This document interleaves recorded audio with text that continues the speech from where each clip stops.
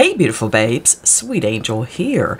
Today's video is a little bit different right here on behind the scenes because again, we are talking about things behind the scenes. You all may already know that your girl already has several channels behind the scenes, which is right here Beauty by Sweet Angel, Sweet Angel Live, and Sugar Fingers. I also have a channel for my animals, my guinea pigs, and my dogs. However, I'm not going to include that in this whole scenario right now. But let's talk about the fact that your girl just got monetized on Sugar Fingers. Yes, all of that work put in and your girl wasn't getting paid. Okay, not from Google AdSense. But guess what? It is now monetized and I am now reaping all of the benefits of all of the videos I've already uploaded on that channel. But I'm coming at a different perspective for those who already have a channel and they set up another channel under that same umbrella. Now, I want to talk about what happens when your YouTube channel gets monetized and you already have a channel monetized. Okay, so the process is a little bit different, of course, if you're starting fresh. But for me, I'm already a veteran in the game, and going forward, this channel now is monetized. So therefore, Google AdSense will add in whatever dollars I earn throughout the month on Sugar Fingers to my Google AdSense payment. So that is amazing. And the other amazing part is, which is really great, when you are a new YouTuber, first channel, you must accumulate $100 before they remit those funds to you. Now, if you already have a channel that is already getting $100 plus, those funds from your new channel, once it's monetized, will get added on to that. So it doesn't matter if it's $100 or if it's $50 or if it's $25. That's something that I found out once my channel behind the scenes was monetized. So when I first started, even though I wasn't pulling in $100, whatever I earned throughout that month did come onto my check on the 21st when I got paid. So now let's talk about what I had to do once I got monetized. There are certain things that's definitely going to play a role in what you do in order to make sure you get your money. So let's get to that right now. I do want to give you some reminders about what happens or what has to happen before you're able to apply to the YouTube Partner Program. So, first, let's talk about subscribers. You have to have a minimum of 1,000 subscribers on your YouTube channel before you can even begin this process. 1,000 subscribers. So if you see someone that does not have 1,000 subscribers on their channel, they are not earning money through Google AdSense on their YouTube videos. They could be getting paid sponsorships, but they are not earning money on their YouTube channel. The other thing is very important. You must have 4,000 watch time hours on your videos over the last 12 months. So that's a running 12 months. So every day it accumulates, every day it accumulates over the last 12 months. So calculating that 4,000 watch hours. That's 240,000 minutes that viewers would have viewed your videos, your channel. So 1,000 subscribers, 4,000 watch hours. Until that happens, you cannot apply to the YouTube Partner Program. Now, you must comply with all of the YouTube policies and guidelines as well. So you can't have any flags on your channel. Now, I'm not saying that you won't get in the YouTube partner program, let's say you had some music issues, uh, copyright. As long as it's not a copyright strike, you should be fine. I know that that's happened to many people before, but you should be fine. But there again, each individual YouTube channel, once it gets to the point where you can apply, will be individually reviewed. And then if you're new to the whole AdSense program, you have to have an AdSense account set up.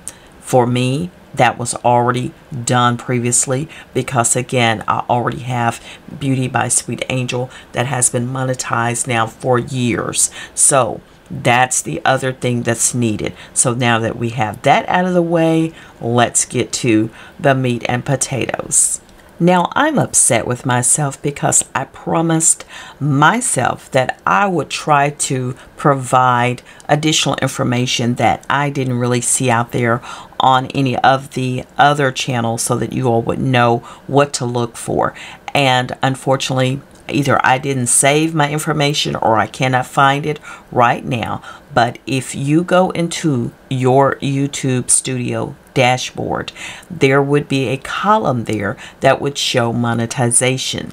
If you're not monetized, it's going to just let you know that once your channel reaches those benchmarks of 1,000 subscribers, 4,000 watch hours, you would be able to, at that point, apply to be a YouTube partner and until that time it's just going to sit there and subsequently you can apply through that link or on the other token they will also email you and let you know that you can go ahead and submit your application.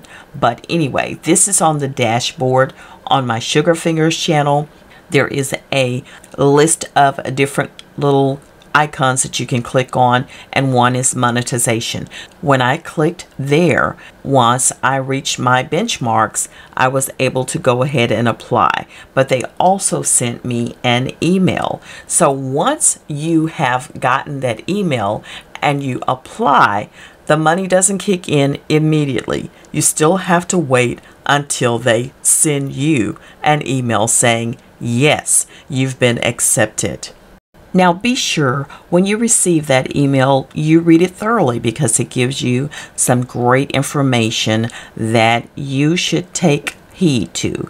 And that part of it is, of course, what kind of content you can monetize, different ways you can monetize on YouTube, how to monetize specific videos, and monetization icon guide. So it gives you some really good pointers that you might want to check out. Even though you've made it to that point, there's a lot of things that can prevent certain videos from being monetized, certain content that cannot be monetized. So be careful and watch out for those things and read that information in detail. And then, bada, I finally got my welcome into the YouTube Partner Program. I was so happy. Yes, yes, yes. And it still wasn't the end of the work that I had to do in order to get monetized on all of my videos. It was just the beginning.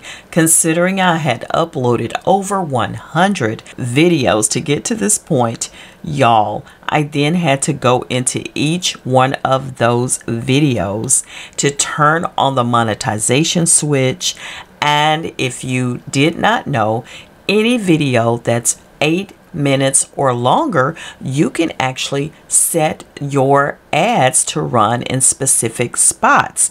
That doesn't mean it'll always accurately run where you set for it to run, but you can at least attempt to make that happen, which means that you can run as many ads as you want to as long as they run based on, you know, YouTube's parameters. So, Anywho, I had to get busy. So this is the next portion of this. This is just basically my little story time on how I got from point A to point B on my nail channel called Sugar Fingers. So now you see me physically going into each and every video and turning on monetization, which is where you see the little dollar sign change from a dollar with a line through it to the green dollar sign. That's where that takes place at. So I did all of that. It took a minute to go and complete all of that, but then you turn around and have to check out the ones that are at least eight minutes long if you want to add in additional ads to run on that video, you can also do that. And here under your YouTube dashboard, this is where you would do that ad. You would actually go into monetization. You can click on that and it'll take you to your video monetization screen, which of course you would have put on monetization on, which there's just a little drop down that'll show on or off, uh, either one you know, we want it on. So that's what I click there. And then you select whether you want overlay ads, sponsored cards, skippable videos, or non-skippable video ads. I did all of them. that's how most of my videos are. I want whatever can earn money on the channel to happen if it's going to happen. And then, uh, do you want your video ads to run before your video, which is a pre-roll, during your video, mid-roll, or after your video, post-roll. And I, of course, have all of those selected as well. And then, if your video is at least eight minutes long, you can actually select the during video ads mid-roll to be placed at natural breakpoints to balance the viewer experience and creator revenue. So, yes, I want that. So I go into my manage mid-roll and generally when I put my video ads out there, I try to make sure the first ad doesn't play until around maybe two minutes and 30 seconds into the video, uh, there and about and then for the rest of them I just kind of section them off from there. All you have to do in order to add one you just move the little cursor bar to where you want it to start and click on add break right there. And when you first get onto it there's usually a little add break little blue letters right in the center and you can click right there and click starting to add as well. But that is how you do that. So this one is already pretty much set where I want it to. As you can see there's about six seven six or seven ads that can run on this one potentially and a before the video starts ad as well as an after ad. So that's where that comes into play. I just click continue and save and that's how that is done there. And beautiful babes, that is it. I just wanted to share that little tidbit with you to help you kind of understand that the process really still is in your court until at such time you dribble the ball and make it all do what it do once they accept you into the YouTube partner program. So that is my take on it. If you have any questions, drop that down in the comments. I'll do my very best to respond and answer for those of you who are interested in YouTube and what it entails behind the scenes to find out what to do and how to do in my own terminology in my own way because you know I am not the pro YouTuber I'm just here for it to make it do what it do as best I can. And if I can help someone in the meantime and in between time, that's what I love to do. I'm your girl, Sweet Angel, signing out for now. Thanks for hanging out with me right here on Life with Sweet Angel and Mike behind the scenes, just giving you a little behind the scenes as to what it takes to get a channel going and growing. And since you're behind the scenes with me right now, make sure you look in the iCard, the little eye that's right above this video in the corner there. Make sure you go ahead and subscribe to Sugar Fingers and help it to continue to grow. That is my nail channel. I appreciate you forever. Thank you so much. Take care of yourselves and I'll see y'all on the next one. Like, comment, subscribe. And if you got some value out of this video today, make sure you drop a like on it And also put some hearts in the comments. I'll see you on the next one, beautiful babes. And please continue to share me with your world. Bye now.